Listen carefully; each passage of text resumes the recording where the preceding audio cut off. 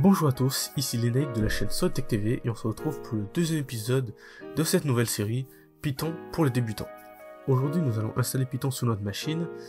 Alors pour commencer il faut aller sur le site officiel de Python pour pouvoir télécharger les sources.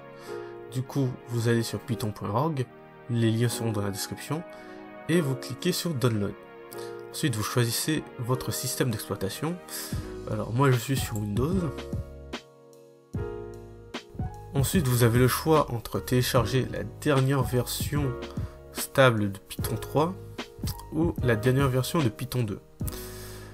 Euh, nous allons choisir la dernière version stable de Python 3, la 3.8.2.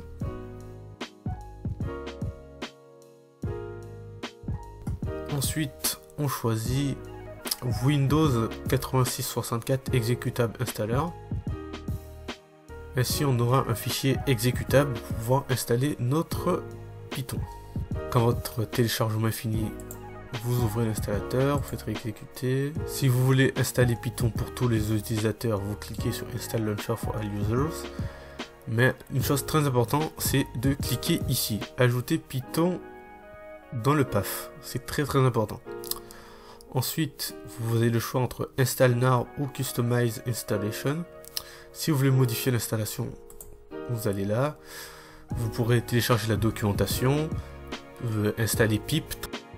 Très important d'installer pip. C'est un gestionnaire de paquets utilisé pour installer et gérer des paquets écrits en Python. Nous n'aurons pas besoin de tck, tkn, idle, ni de Python test suite, mais si vous voulez, vous pouvez l'installer.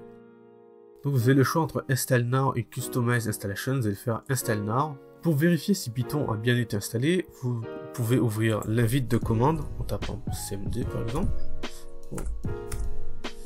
Ensuite, vous écrivez py, py, et normalement vous aurez le mode interactif de Python qui va s'ouvrir.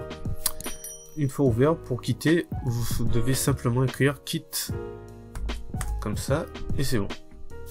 Dans la prochaine vidéo, nous verrons l'idée de PyCharm créée spécialement pour coder en Python.